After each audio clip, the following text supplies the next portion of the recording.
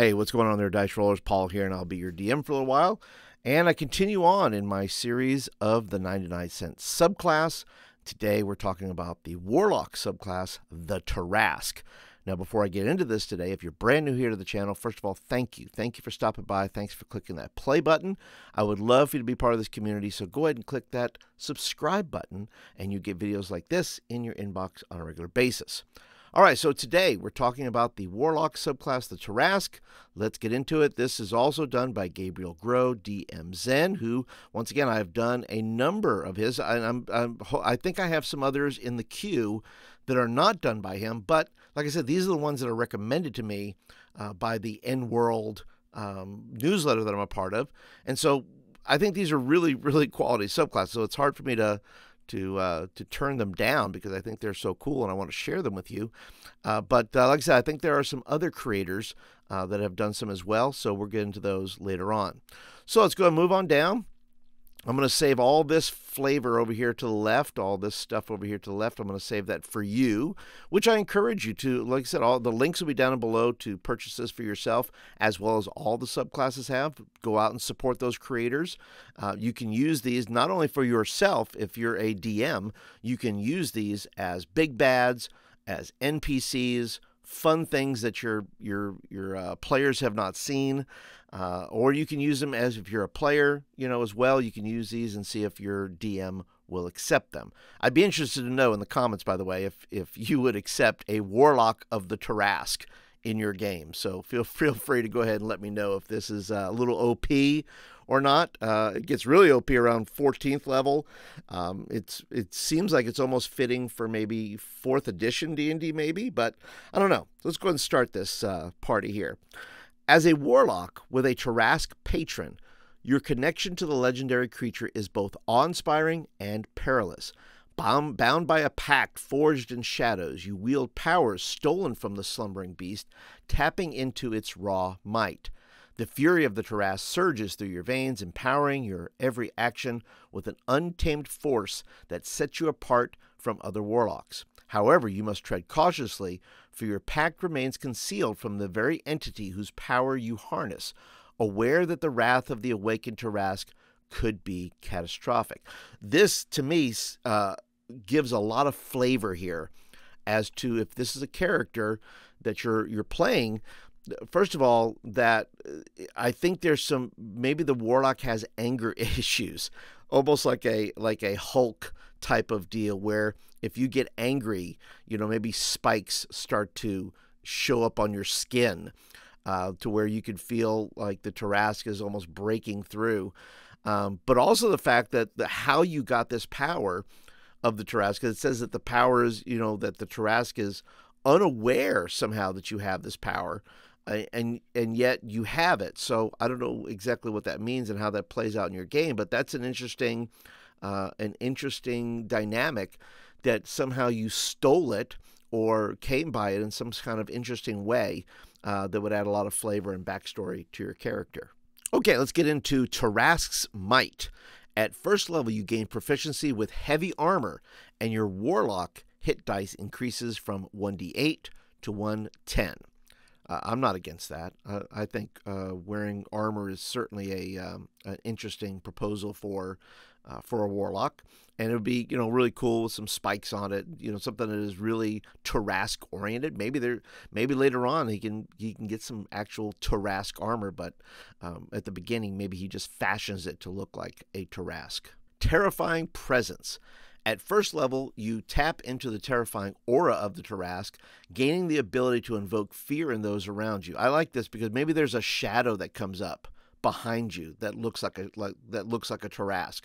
That would be kind of a fun flavor uh, filled uh, spell or or um, you know ability to be able to do. As an action, you can force all creatures of your choice within 30 feet of you to make a wisdom saving throw against your warlock spell save DC. On a failed save, a creature becomes frightened for one minute. A frightened creature can repeat the saving throw at the end of each of its turn, ending the effect on a success.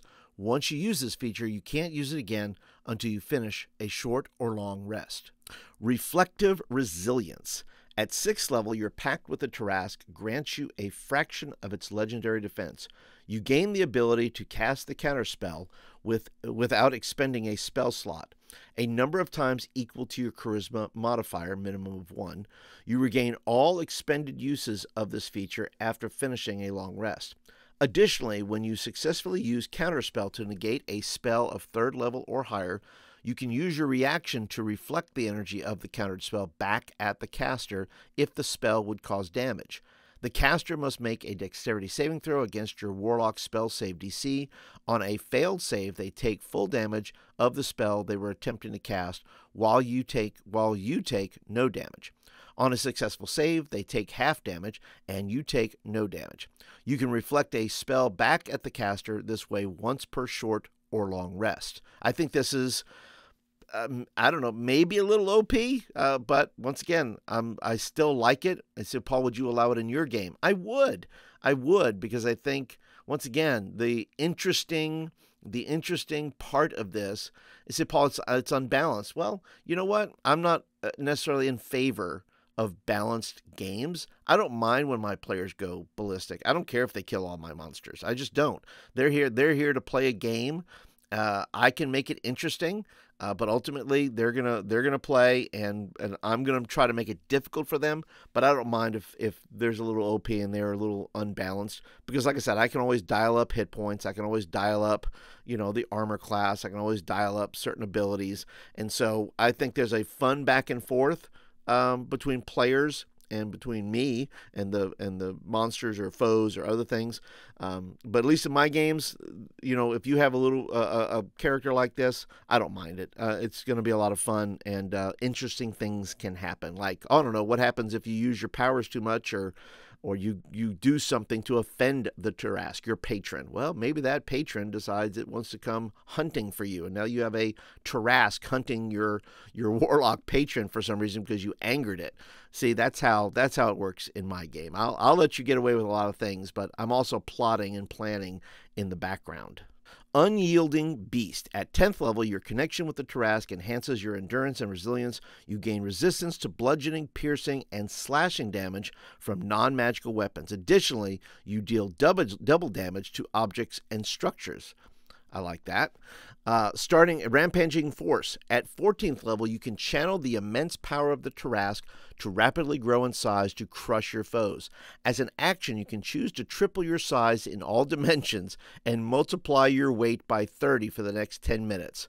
I, I just think that's fun to think of uh, a warlock getting that big inside of a dungeon and just going crazy. I think of like um, uh, in X Men, Juggernaut, where it just starts breaking breaking through walls and just building up speed and momentum, and uh, chaos just starts ensuing inside of a dungeon, which of course will collapse on you as as you continue to do that. So there's uh, there's pluses and minuses to that. This growth increases your size by two categories, from medium to huge, for example. If there isn't enough room for you to triple your size, you attain the maximum possible size in the space available. While your rampaging force is active, you gain the following effects. Your strength score increases by 6 to a maximum of 24. You have advantage on strength checks and strength saving throws. You gain a number of temporary hit points equal to 5 times your warlock level. Your weapons grow to match your new size. While these weapons are enlarged, your attacks with them deal 2d4 extra damage. Your spells that deal da- uh, your spells that deal damage deal one additional damage die. You can return to your normal size as an action. Once you use this feature, you must complete a long rest before using it again. And once again, I don't hate that. I, I think that's a fun, fun thing to do at 14th level. At 14th level, you're getting the ability to do this. And by then, you know, you're fighting, you know, bigger dragons, bigger giants. You know, you're fighting big things at that point. At least I would. If this character's here in my game, I am making sure that they are fighting large things. And yes, sometimes putting a, a, a big thing of, you know, of uh, like a army of gnolls that you just are just careening through, like a speeding, like a stolen car, just running, running through them and just creating this chaos, uh, which would be a ton of fun to watch. So yeah, that is the uh, Warlock uh, of a, a, Warlock subclass, the Tarrasque. Let me know down in the comments. What do you think of this class? I think it's fun. I would allow it, um, but you tell me in the comments what you think uh, about it. I once again, it'd make a great big bad uh, for some of your your OP characters that you think are OP. Well, go ahead and drop a Warlock of the Tarrasque in your game and see how they feel about that. But that's it for today, guys. Thank you so much for watching today. Be sure to go and click that thumbs up button. That tells me you like the video and you want more of them. And I will catch you in the next video, which will probably be a 99 cent subclass. We'll catch you then.